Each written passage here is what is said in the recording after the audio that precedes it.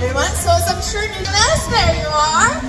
Okay, now sea lions, their strongest, biggest muscle is called their pectoral muscles. And those are the muscles located right on their chest, attached to those big flippers.